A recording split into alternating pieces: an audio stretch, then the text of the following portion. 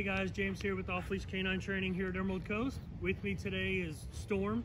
She's a 12 month old American Bulldog and she's here with us for our 14 day board and train program. So Storm comes to us.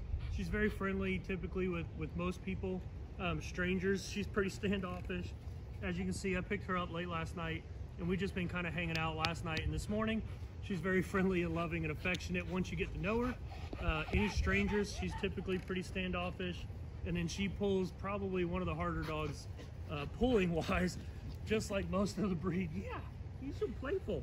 Yeah, kind of like that. You see, you don't have a good grip on that leash, you're gone.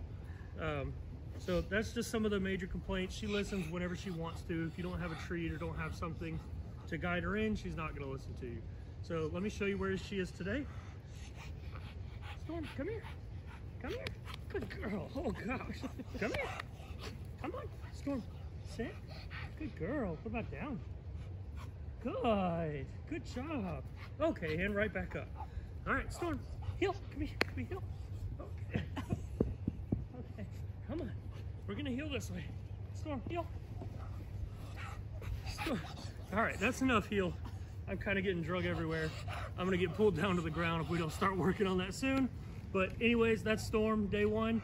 Keep watching her video and you'll see her progress over the next 14 days. Good girl, babe. Good girl.